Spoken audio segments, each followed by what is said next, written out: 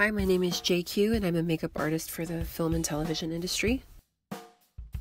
Today I'm going to be doing a character makeup.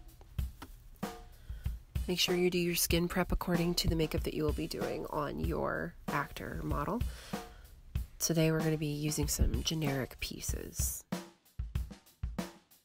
These are out of kit prosthetics by Stevie Beetles. They are encapsulated silicone prosthetics. Um, they are acetone based. They come in different sizes and different skin tones. He has an array of skin tones available, and they also do color matching. These prosthetics are like a band aid. If you know how to use a band aid, you can apply these prosthetics. They have uh, paper backings and are adhered to that backing and you just peel one side of it away and anchor it to the area of the face that you desire the prosthetic to be and then you carefully and slowly peel the other side away and press that side down. I like to use the back of my brush to roll my edges down and really get them to adhere to the skin and then melt my edges away with um, properly sized pointed or rounded q-tip.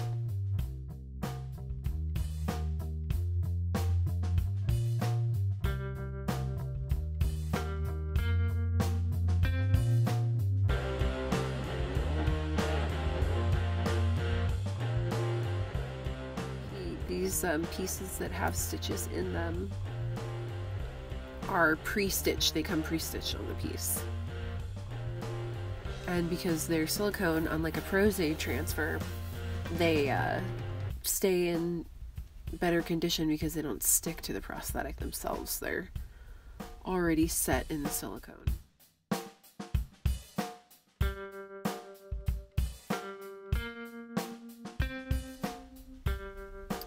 Uh, here you can see that I'm using a mascara wand to take the edge down because I'm actually bringing the silicone that I am melting off with acetone through the fibers of each of her eyebrow hairs since the prosthetic goes into her eyebrow hair since it's a little bit too large for her face.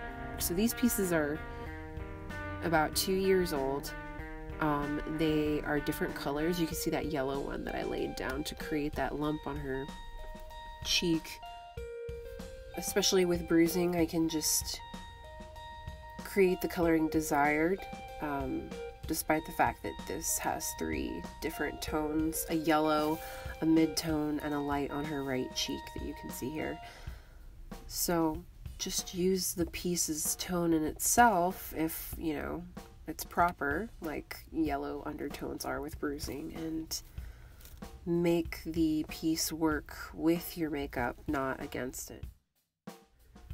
You can absolutely color correct the piece, but it's unnecessary. Just go ahead and start your paint job and work smarter, not harder, when it comes to coloring.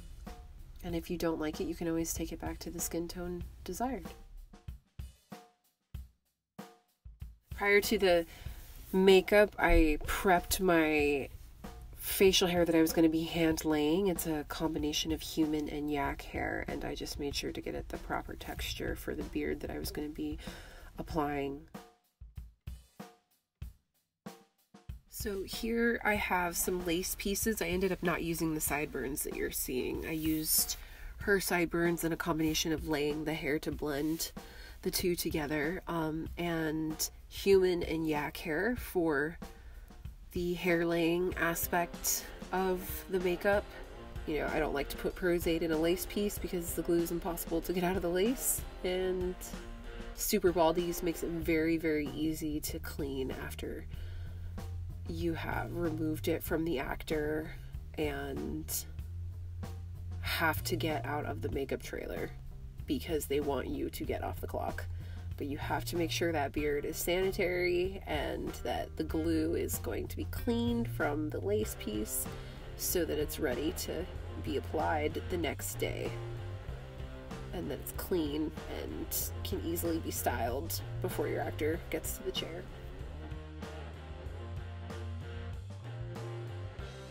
So I'm just laying my blend edge. Every beard needs a blend edge.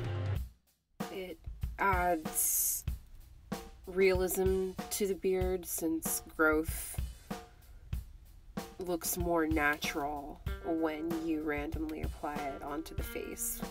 Of course, you know, you don't want to mess with continuity. But a blend edge helps hide lace, especially if you're working with a beard like this where it's used for stunts and maybe the edge isn't as nice as it could be and doesn't lay as flat or um, is too close to the knots of the hair.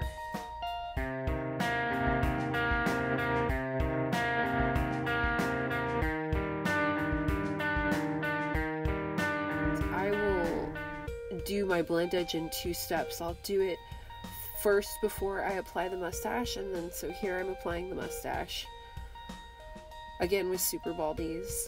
Um, it has, you know, been colored and you know slightly pre-styled wet set to get the shape um, knowing that it was again too large for her face. It's very wide mustache very long um, and also was going to need to be trimmed into the beard. So blend edges are important to refine styles and really shape that beard onto that person's face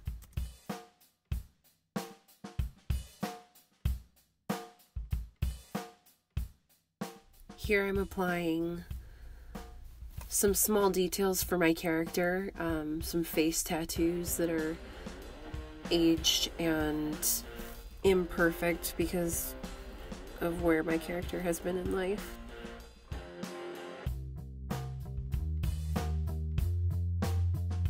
After I lay my beard, I like to do all of my details and just layer and layer and layer details onto the character. Um, layer coloring, layer textures, and tattoo placement, um, minute scratches, and any small details to this character that I can add. Sometimes you'll go over a surface more than once. Sometimes you'll go over it more than 10 times in the same makeup, just getting the color that you want. I like to pre-paint my blood just a little bit with some alcohol colors adds depth to your blood. Allows it to run off in different places while you still have a good paint job underneath it.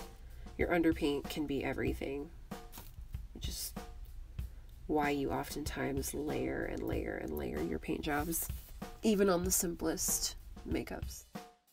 I created these particular tattoos for a film for um, different types of gangs and groups, hate groups, and I have some leftover pieces here.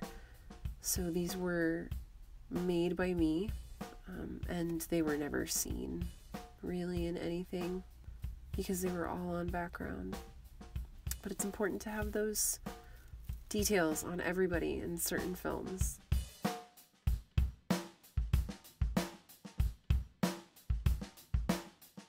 After that, you know, use hair and costume to balance out your character makeup.